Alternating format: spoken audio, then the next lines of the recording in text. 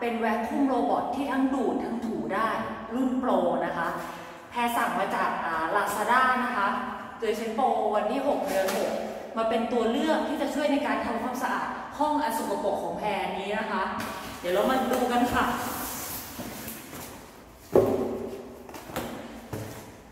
นะคะเขา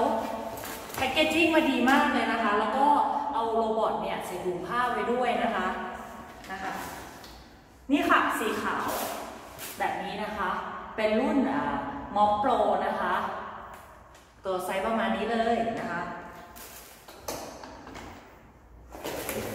มาแกะกล่องดูนะคะว่าเขาให้อะไรมาบ้างนะคะ มีคู่มือแต่เป็นภาษาจีนทั้งหมดเลยนะคะ อันเนี้ยถ้าใครอ่านภาษาจีนได้ก็จะโอเค แต่ถ้าไม่ได้อาจจะต้องใช้ Google Translate แปลเอา หรือเราไปดูวิดีโอรีวิวต่างๆนะคะ นี่นะคะ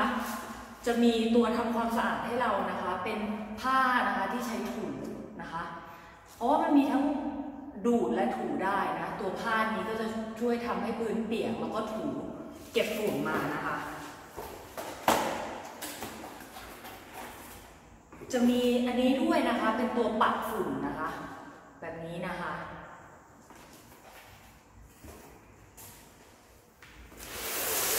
เรามาดูที่ตัวโรบอทนะ สีขาวจั๊วเลยนะคะ ตัวโรบอทนะ สามารถเปิดฝาแบบนี้ได้นะคะ ลองดูกันนะคะนะคะ ตัวนี้จะเป็นตัวที่ใช้ในการเก็บฝุ่นนะคะ เป็นตัวใสนะคะ จริงๆในกล่องเนี้ยมันจะมีอีกอันแบบนี้นะคะ ในกล่องนี้นะคะจะมีเป็นกล่องคล้ายๆกัน แต่จะเป็นสีดำแบบนี้นะคะ สีดำอันนี้จะมีช่องในการเก็บฝุ่นตรงนี้นะคะ และเป็นช่องในการเติมน้ำได้สำหรับการถูนะคะตรงนี้นะคะ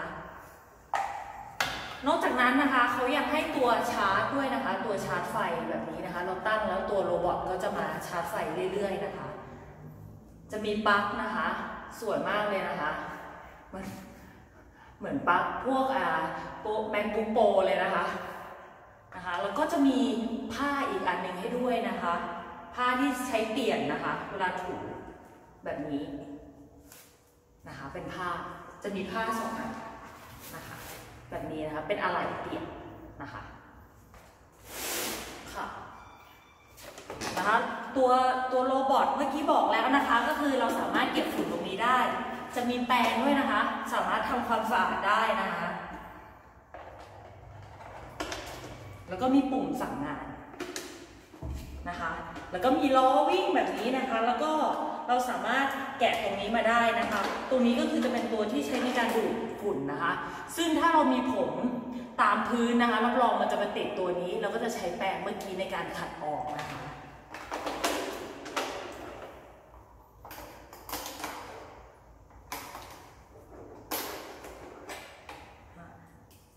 เราอยากจะทดลองใช้แล้วสิ นะคะเนี่ยค่ะ เดี๋ยวเราจะมาทดลองกันนะคะ ว่าตัวนี้จะดูดฝุ่นช่วยแพรทำให้ห้องนี้สะอาดได้หรือเปล่านะคะ เดี๋ยวเรามาดูกันค่ะ ค่ะตอนนี้เดี๋ยวเราจะมาเตรียมพร้อมนะคะสำหรับการที่จะพร้อมดูดและถูนะคะ เราไปเติมน้ำใส่ตลับสีดำเรียบร้อยแล้วนะคะ สิ่งที่เราจะทำนะคะก็คือเราจะต้องเปลี่ยนก่อนนะเปลี่ยนเอาอันใสออกนะคะ เพราะอันใสดูดได้อย่างเดียวนะคะ เอาอันใสออกนะคะ แล้วก็ใส่อันดำลงไปแทนนะคะ แบบนี้นะคะ แบบนี้นะคะ แล้วเราก็ปิดฝา นะคะ แล้วเราก็จะเอาตัวแปรงเนี่ยมาใส่ไว้ด้านหนึ่งแบบนี้นะคะ แล้วก็เราจะเอาผ้านะคะ มาล็อกไว้แบบนี้เองนะคะ ก็จะพร้อมทั้งดูดและถูแล้วนะคะ ค่ะ เราจะทำการดาวน์โหลดแอปพลิเคชันมี่ Home นะคะ ซึ่งเป็นแอปในการควบคุมอุปกรณ์ของมี่นะคะ หลังจากที่เราดาวน์โหลดแอปเสร็จแล้วเราจะกดเข้าไปที่มี่ Home ไปที่โปรไฟล์นะคะทำการ sign in อีเมล password ของเรานะคะ ซึ่งเป็น Account ของ Mi นะคะ หลังจากนั้นแล้วนะคะเราจะมาทำการกดที่ setting หรือการตั้งค่า และเปลี่ยนตัว region นะคะ ให้เหมาะสมกับอุปกรณ์ของเรานะคะ อุปกรณ์ของแพรเนี่ยนะคะ มาจากจีน แพรก็จะเลือกจีนนะคะ แต่ถ้าใครเป็นระดับ global เนี่ย แพรได้ยินว่าจะต้องเซตเป็นที่สิงคโปร์นะคะ หลังจากนั้นนะคะเราสามารถปรับเปลี่ยนภาษาได้ เราสามารถกด back นะคะ แล้วไปที่มี่ home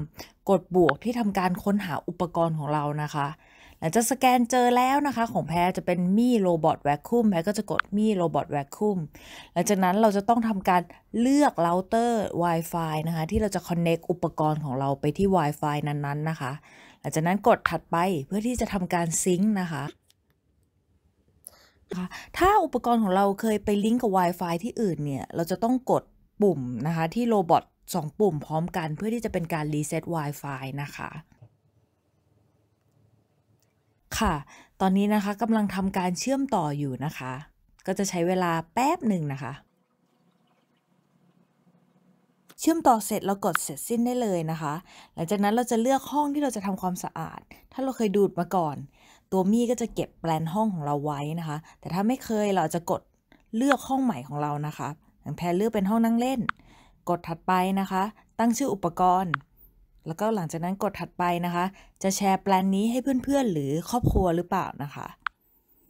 แล้วก็เรามาเริ่มกันเลยค่ะ ตอนนี้โรบอทก็จะเริ่มทำงานนะคะ เริ่มสแกนแผนที่ในห้องนะคะ หลังจากที่โรบอททำการสแกน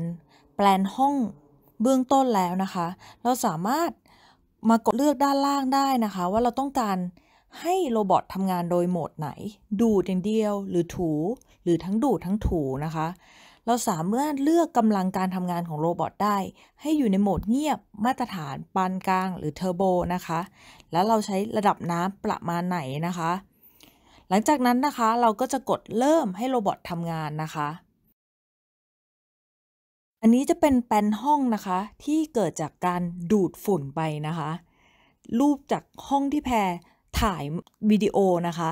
หลังจากที่โรบอททำงานไป 50 นาทีนะคะ โรบอทเดินแบบลักษณะเป็นซ้ายขวา แล้วก็เดินสำรวจตามมุมนะคะ ถือเป็นการเดินที่ค่อนข้างฉลาดนะคะ แล้วเดี๋ยวเรามาดูกันนะคะว่าฝุ่นที่ได้นะคะ จากการดูดมากน้อยขนาดไหนนะคะ แทบอยากจะร้องกรี๊ดเลยนะคะ ดูดออกมาฝุ่นเยอะมากๆเลยนะคะ